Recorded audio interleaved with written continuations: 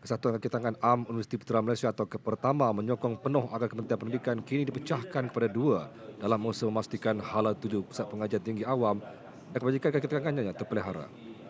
Presidennya Muhammad Razali Singah berkata, pusat pengajian tinggi awam dan swasta berdepan dengan pelbagai cabaran dalam usaha menjadikan negara sebagai sebuah hak pendidikan antarabangsa. Justru apabila hanya satu kementerian pendidikan diwujudkan secara tidak langsung banyak perubahan ketara berlaku Antaranya fokus dan ada tujuh pusat pengajian tinggi agak ketinggalan berbanding penambahbaikan yang dilaksanakan di peringkat sekolah.